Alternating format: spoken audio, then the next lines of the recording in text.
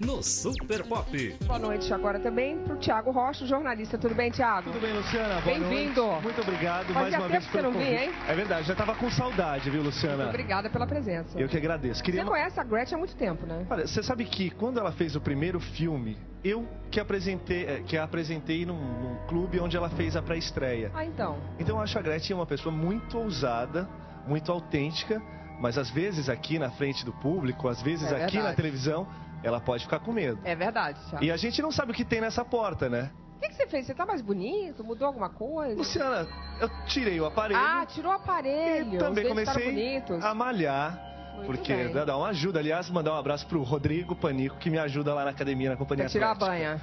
Tem, né, Luciana? Mandar um beijo pro Flávio Setani também, que se não mandar um beijo me mata. Ah, tá vendo? Agora deixa eu te perguntar uma coisa. Então você acha que, ele vai que ela vai falar? Eu tenho minhas dúvidas. Porque na televisão é tudo muito complicado. É, é uma coisa você comentar nos bastidores, ah, eu não gosto. Se Agora ela falar aqui... alguma coisa errada, pode fechar a, a porta na cara dela, né? É, Mas aí é que... Tiro pode sair pela culatra, como dizem, né? Ou talvez ela vai abrir a porta pra todo mundo É também, verdade. porque Aí na fica meio televisão... blasé também, né? Exatamente. E aí? Eu não queria, eu, eu vou te falar que eu nem viria pra fazer isso, porque eu ia morrer de medo. Mas ela é corajosa, Não, eu também acho que a Gretchen é corajosa, autêntica, é pioneira. verdade. Você entendeu? Só que na televisão as pessoas mudam de posição. Mas vamos ver o que vai acontecer.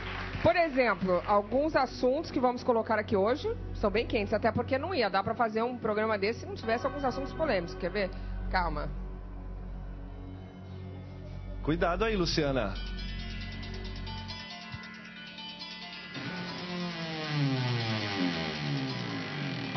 Cuidado, Luciana. Tô me sentindo que nem a Alice no País das, País das Maravilhas do Tá divertido isso. Uh, nossa, esse negócio tá parecendo inferno lá dentro, tão quente que tá. Melhor não, vou fechar, calma.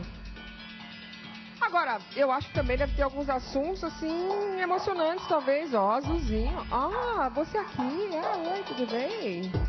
Que história, hein? Agora, deve ter alguma coisa divertida aqui também, né? Calma. Calma, calma. Será que tem? Cuidado, Luciana. É, é a estreia do quadro.